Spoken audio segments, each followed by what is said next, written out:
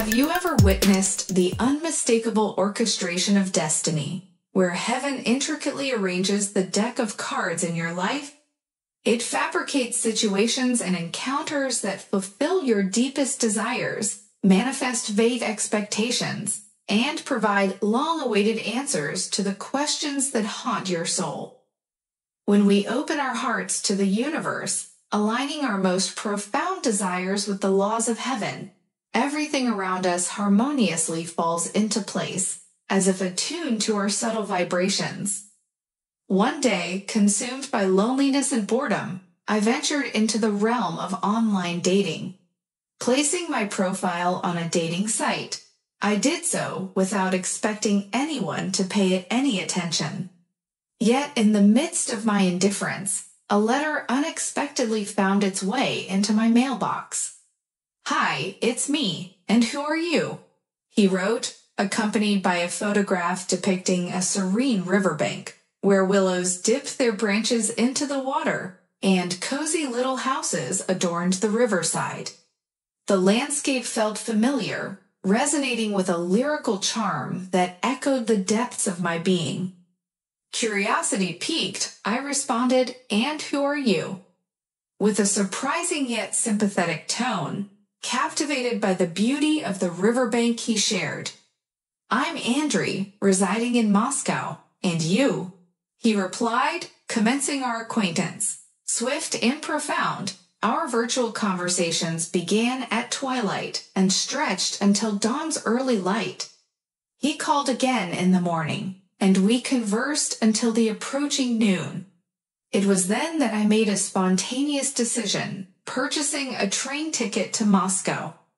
Crazy, my mother remarked, unable to comprehend my impulsive actions. But deep down, I acknowledged my own brand of madness. I was unable to resist the invisible force that drew me towards him. Perhaps a subtle astral communication birthed an irresistible attraction, as some psychics might suggest. Whatever it was, it surpassed reason, common sense, and my own comprehension. It felt as though the heavens had ordained our meeting, an encounter that had to transpire at any cost. Andri, as I discovered, was an artist. Perhaps individuals with the ability to weave fantasies possess an innate connection, understanding one another on a realm beyond ordinary consciousness. I cannot say for certain. Although we didn't have the opportunity to explore Moscow together as promised, our conversations filled every moment Subsequently, I returned home, brimming with his essence like a magical vessel. He embodied the essence of a true artist, perceptive yet somewhat absent minded, residing in his own inner dimension. Energy coursed through his veins, accompanied by concealed pain, a tinge of loneliness, and an impulsive surge of passion. Living alone, he carried the scars of a shattered family a subject we mutually avoided. Andri fervently spoke about politics, Russia's fate, the gradual demise of rural life, and the country as a whole. He believed that Russia was ensnared in a delicate web of invisible enemy propaganda, attempting to mold its people into mindless pawns, serving a nefarious will. I longed to engage in debate Yet his frustration often resulted in irritability, overshadowing any attempt to challenge his perspectives. Thus, I remained silent, feeling the depths of his disillusionment, the pain that resided within him, and the bitterness stemming from his inability to effect change in this chaotic world. I could sense it, understand it.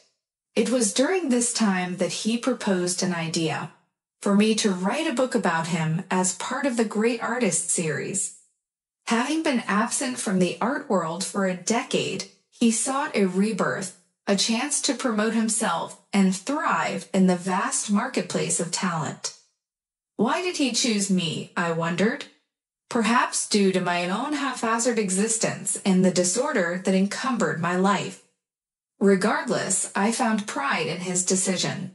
Although I had never written a book, let alone one about artists, faint dreams and aspirations had often wandered through my mind since childhood. But as a writer, what could I truly claim to be? I only dabbled in writing for women's magazines and once embarked on a never ending, tiresome love novel.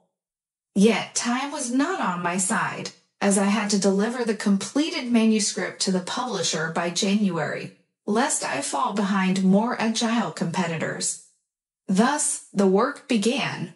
We referred to it as distance work, for I couldn't be physically present, and the looming deadline necessitated an alternative approach. He would recount his childhood memories, adolescent experiences, and insights into art and life over the phone. Being a novice in the realm of painting, I made numerous professional errors, causing my poor artist to spend a small fortune on phone calls. Nevertheless, I managed to complete the book within the allotted time. I believe he was content with the result, especially given the absence of other options. A month later, he implored me to visit Moscow, correct any remaining mistakes, and refine the book's style. Come here, I'll provide the payment for the book. Together, we shall read it one last time. I've missed you. His voice crackled with excitement through the phone. In that moment, I felt the space between us constricting, awaiting my decision. While writing, I had fallen in love with this sweet, enigmatic, solitary artist with his tumultuous nature. Walking alongside him through the intricate steps of his journey, I recognized the profound resonance within his being. Yet my heart ached with the knowledge that I couldn't bring him lasting happiness. I too yearned for his presence, longing to rekindle the profound sense of belonging and intimacy I had experienced during the month of writing about him. The evening train rattled its wheels, casting a rhythmic symphony against the backdrop of winter dusk and flickering city lights. My heart raced as I made my way to Moscow, where the hero of my book awaited. Excitement coursed through my soul even though we had parted as friends, without promises or grudges, knowing that love could never bloom between us, as each of us had our own paths to follow. Yet, why did my soul ache so tenderly? After persistent calls, the door to his studio finally opened, revealing a pale and unhappy face. This was not the ideal meeting I had envisioned with my hero. I'm sorry, I'm not awake yet, I couldn't sleep till four o'clock yesterday. I had a lot of stupid thoughts, he apologized, inviting me into the room. Sketches lay in disarray on the bed, while paintings leaned against the walls, forming a chaotic backdrop to the life of a solitary artist. It felt as if I had been here just yesterday, yet everything appeared different through my newly opened eyes.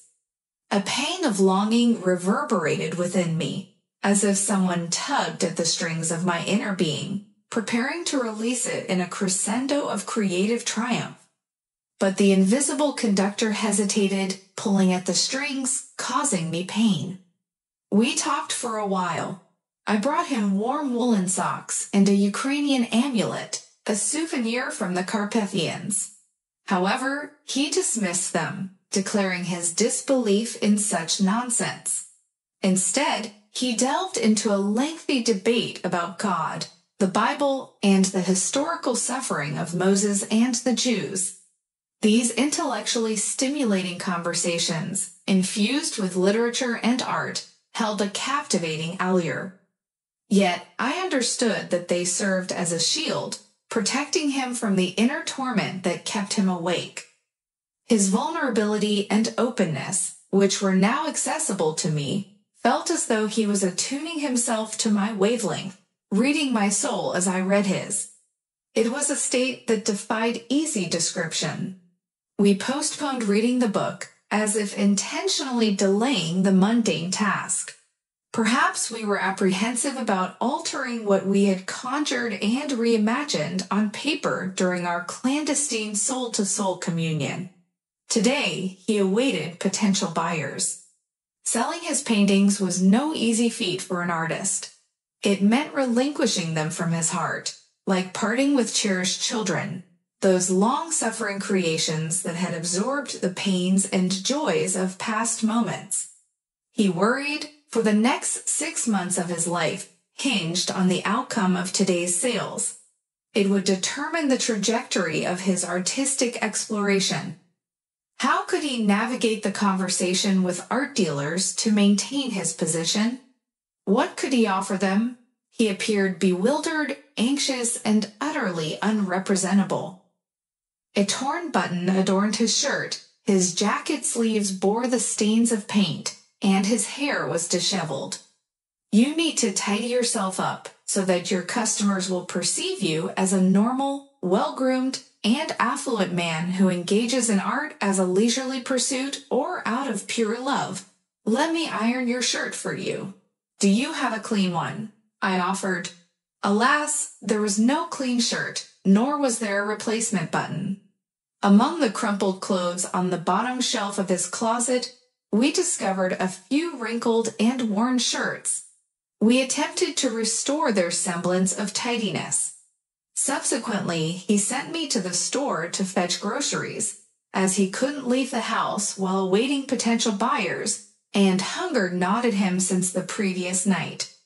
My heart ached with compassion. I imagined his daily routine, unintentionally contemplating the difficulty of living alone as a solitary and absent minded artist. As I boiled potatoes and washed shirts, customers arrived, yet none made a purchase.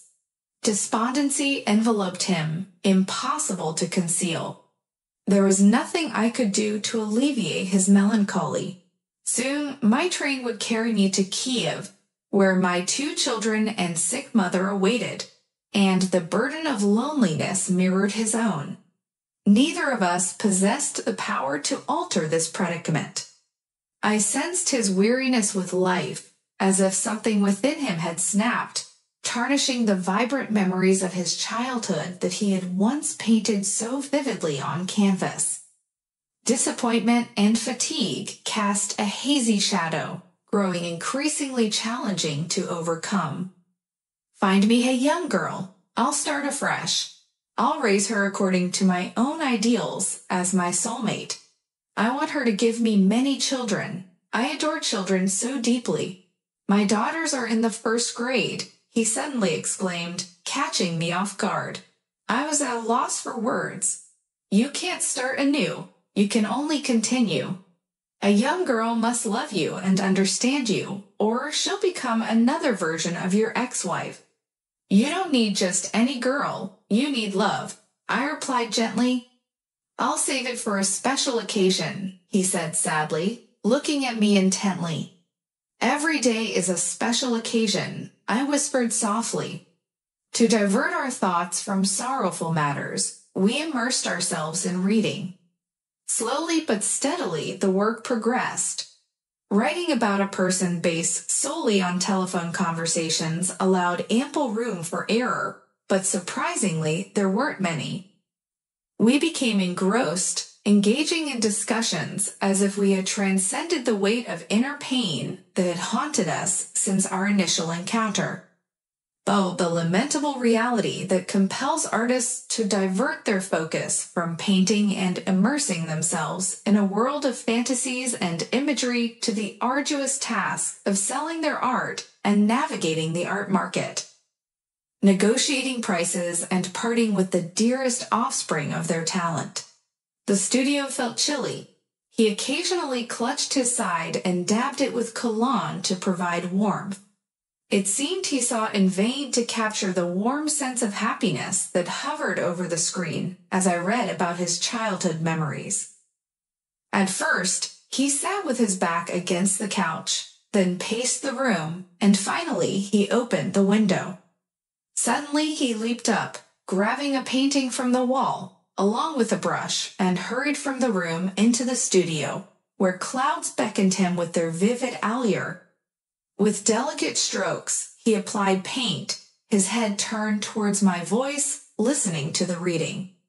Weary of shouting from the adjacent room, I ventured into the studio, where paintings prepared for viewing adorned the walls, a jumbled display. I was awestruck. How had I not noticed it before? There, on the sketchbook, lay a painting infused with shades of pink. He was explaining something to me, offering guidance on how to bring the sky to life with vibrant brushstrokes. Yet I hardly listened, captivated and subdued by the exquisite fragment of happiness captured on canvas. Winter's twilight delicately caressed the snow-covered valleys, casting gentle shadows upon fences, houses, and snowdrifts. A small but radiant slice of Russian village life emerged. In the vegetable garden near the fence stood a scarecrow, donned in a sheepskin coat its shiny tin bucket head reflecting the meager rays of an invisible sun. A boy stood beside the fence, gazing dreamily into the distance. However, that wasn't the main focal point. The painting exuded a magical hue of pink, as if the artist had seized the fleeting transition between day and night. The sun enveloped everything in its tender warmth, imbuing the ephemeral moment of pink bliss with timeless significance on the canvas. I adore it as well, he murmured softly, drawing closer. I gently caressed his head and pressed my cheek against his. It's truly magnificent, I whispered, feeling a surge of desire emanating from him, fairly contained and ardent, the longing to love and be loved Every moment of our lives is extraordinary, I pondered silently. I am grateful that you allowed me to touch your soul, you, the artist of the vanishing Russian village, with your wispy white hair and lively eyes. I am enamored with your thoughts and your paintings. I have fallen in love with your dreams and your pain, stemming from the elusive harmony of life your passion for your work, and your burning desire to write. I sense the abundance of love for life that resides within your heart. I am in love with you, you wild artist, and I ache for you, for your restlessness, and the absence of a beloved woman who would warm, nourish, and soothe your troubled soul. If only I could intercede in the celestial order and shape life according to the dictates of my soul I would be there for you. Who knows? Perhaps you are my soulmate. In 40 minutes, I will be gone, and we will not have time to revise the final chapters of the little book chronicling the fate of a country boy who dared to become a Moscow artist. No one else will read it anyway, you said in parting. But what does it matter? I wrote it for myself, and it brought me happiness. The sound of the wheels muffles my silent tears for life, its monstrous injustice, and the fact that I cannot be with you because each of us has our own path, and the railroad, with its straight tracks leading to chosen destinations, has a knack for dividing us across towns and cities. Strictly adhering to its schedule, tomorrow morning will arrive, and you will awaken feeling stronger as a rosy dream of summer and love lingers in your thoughts. The pain in your side and your heart will fade into insignificance. I know that one day, somewhere on the precipice of our imaginations, we will meet in clasping each other's hands, trustingly unite our souls. It will be beautiful. It will feel inexplicably right. And as the winter morning rushes past the train window, it will appear pink much like the evening captured in our cherished painting. Thank you for watching. I hope it was interesting. See you in the next story. Goodbye.